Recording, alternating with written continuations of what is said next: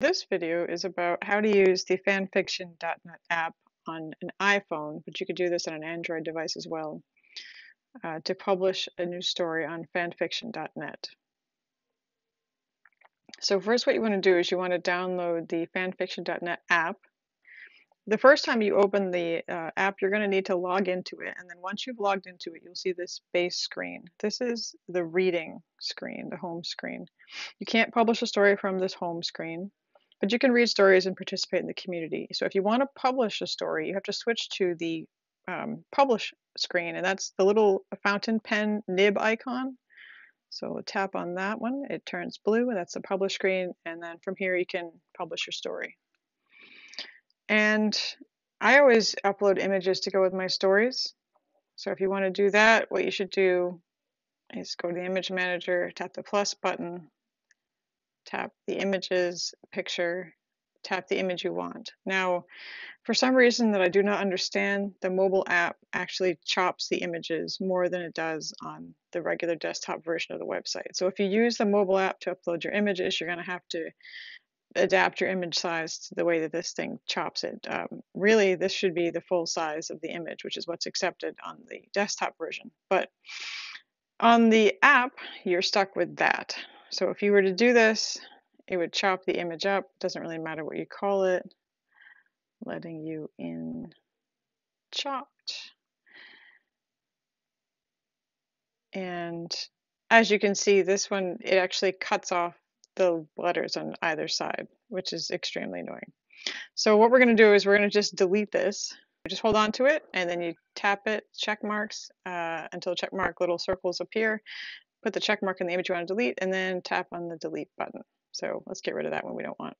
So this is the one that I uploaded using the desktop version. It gives me all the text that I put on it. You then go to the document manager.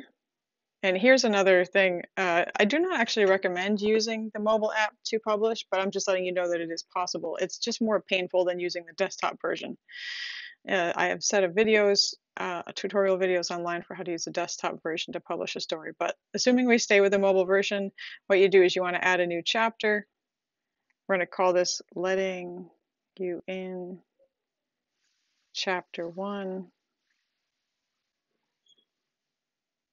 Now again, as I don't recommend using this platform, you're going to see a not ideal behavior from the app. So I recommend using the desktop version to publish, but if you have to, this is how you're going to have to do it. Uh, don't bother using file upload. For some reason, it gives you a random useless screen. Uh, you're going to have to use input. Don't use docx. That's actually the document exchange format that proprietary to fanfiction.net that's meant to be used for betas and, and story writers. I've never used it, don't recommend it. Uh, but if you want to upload a story here, you can't use file upload, you have to use uh, format story and input and then select OK. Now you can manually type your text in here, but that's not what we're going to do. I've already written the story. It's over in my uh, Google Docs app and I want to select all of it. So I tap three times in a row because it's an iPhone. The select all becomes available. Tap select all, tap copy. Okay, so I go back to the app and I paste it in and I think, oh, this is easy. It's going to be wonderful. Uh, paste without forwarding, formatting would strap, strip the uh, italics, bold, and underline, and I don't want to do that, so I tap on paste, hoping that all of the bold, italics, and underline come in, and they do not. They all get completely stripped. So if you wanted to publish and all you had was your iPhone available, you would actually have to manually go in and add italics back in again to every single thing. The bold bits, the italic bits, everything. It would just be awful. Uh, you could also, I suppose, use the uh, the buttons down here, and then it would bold it. But you have to do every single word one at a time.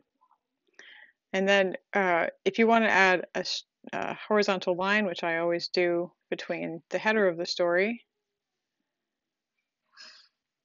you just tap that little uh, very long horizontal line button that's at the bottom of the bold italics underline uh, alignment section uh, at the bottom of the text editor, and it inserts this line. So if I were to do this, then I would have to walk all the way through this document. Every single thing would be, let's see, where, where's an example here? Uh, the bed, not her bed. So let's go up here and it'd be the bed, not her bed. And you just have to go through the entire chapter doing this manually. It is a real pain in the butt, but you do it. Once you make all the changes, uh, you make the chapter look the way you want to. If you've got author notes at the top or the bottom, I recommend putting the horizontal line in. Doesn't matter the spacing. Fanfiction.net will change the spaces and you won't have any control over it, no matter which way you uh, upload your story. But once you're done making all your changes, then you tap on that little uh, save button. It looks like a floppy disk from 1995, so anybody born after that point probably won't recognize it. So just go for that like little sort of house looking icon at the top that has a top right corner chopped off, and that'll be your save. So you tap on that. And at the very bottom, you see upload success appeared. And so now you've saved the changes and you go back here. Uh, however, since I didn't want to go through that whole long, terrible, tedious process of editing every single bold, italics, and underline in my chapter, I uploaded this using the desktop interface so I could just suck it all in and all the italics are kept and preserved in the story. So since we don't want this version anymore, I'm just going to hold my thumb down on it until the little circle appears. I check mark next to the circle, in the circle, and I tap the delete to the trash can icon. So I get rid of that version I don't want. Delete confirmation. Okay, so I have my first chapter of the story letting you in in my document manager. I have the image in the image manager. Now I need to publish the story. So I'm going to tap on publish story. And this is the guidelines, so make sure you read all of them. Make sure you understand the different levels of ratings. The fiction MA is not allowed on the site. Tap on Yes, I have read and agreed to the content guidelines and terms of service and click on Go. Now you can start entering all of your story metadata. If it is a story that uses more than one fandom, then make sure you tap crossover. Otherwise, just stick with fan fiction. Tap on plus, you can choose a category.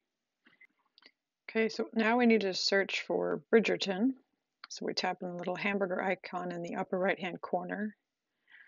And we tap on all. And then there's this little A to Z icon in the upper right hand corner now. Tap on that. And then over on the left, you see uh, an X, an at sign, and then a search button. So let's tap on that little search magnifying glass, and then up, up under please enter keyword, type in the desired fandom, see if it's there. Yep, it's there. And then tap on that. And choosing the characters that star in it. So if you don't see your character here or you didn't see your fandom uh, in the list of categories, you need to go to the fanfiction.net website, go to the very bottom of any page on that website, click on the help link, and send a message to the administrators and email to them to let them know that you need a new uh, category and new characters added. But my characters are already available, so I'm going to choose Anthony.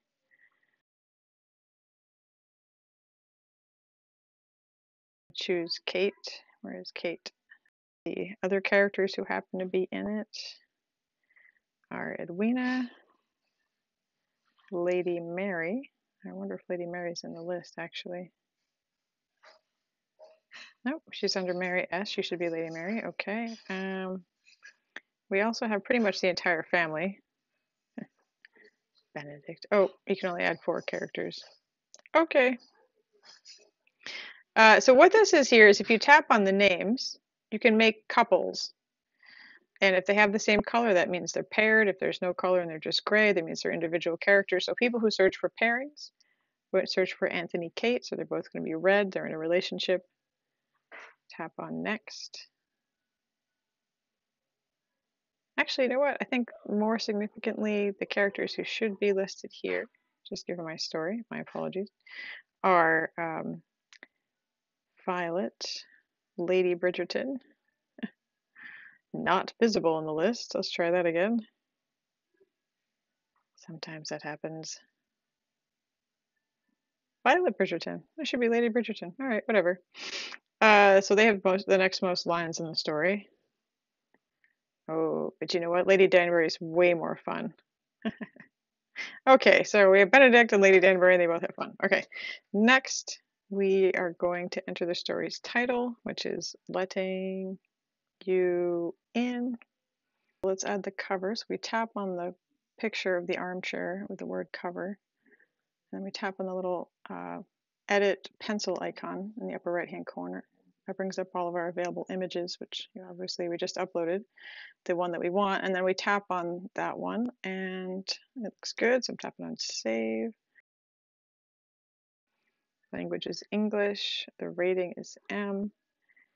The genre is, I would say, romance. Genre B is humor. Uh, let's see. Now, you could manually type in the text here. Again, I've already pre-written it just to make the tutorial faster. So let's go back out to where I've written the summary. Uh, this is just a personal uh, way that I do summaries, but if I've written a story for a fandom, but it's designed to be readable by people who don't even know the fandom, I start my summary with a asterisk to let people know that that is what I'm doing. But that is just a personal convention. You can totally ignore that for your story. All right, let's paste in the text. Oh, good, it fits. Double check, make sure everything looks fine. Okay. Uh, the story is in progress, so make sure it's, and click next. Okay, let's add a chapter. So to do this, you need to have already put a, a document in the document manager. This is just called chapter one. Yeah. Okay. And the document is going to be the one that is in the document manager that I already put in. And that looks right. Is there anything else? All the text looks like it's there. Huh. Why does it have a 9 at the bottom? That's strange. Must be because it pulled it from Word. I hope it doesn't display. All right, well, let's tap on the publish button and see what happens.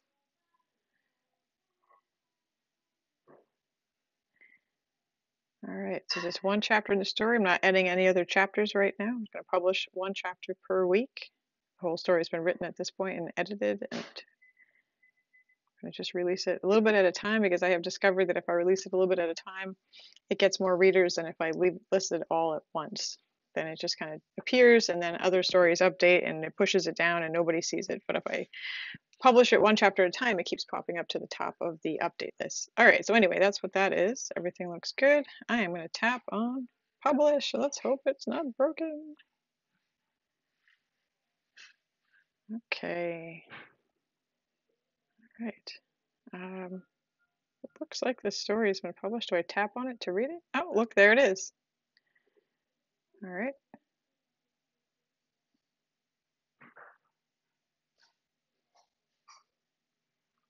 I know the formatting looks correct.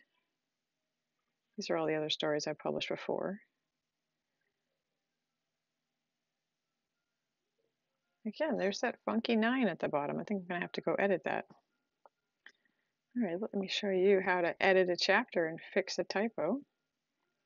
So you go back to publish, which is this little fountain pen nib icon at the bottom of the app and you tap in document manager. We're going to edit this and try to get rid of that nine at the bottom. Oh, there it is. Okay, that's it. Must have gotten pulled in from that. Yeah. Let's tap the save button, upload success, tap on back. So all we've done at this point is we've edited the document that's in the document manager, but we haven't published it. So let's go to story manager, tap on letting you in. No change to this. No change to that. Modify the chapter. We're going to use the document, which is, once again, we're going to select the one that's in the document manager. I'm to scroll to the bottom, make sure the 9 is not there. Ah, no 9. Good. Let's save that change. We've updated the chapter. All right. So if we tap on this again, oh, the story manager, let's go out and actually go to the reading view. So armchair icon, tap on read, no, tap on library. Okay, now this is reading view, tap on the story.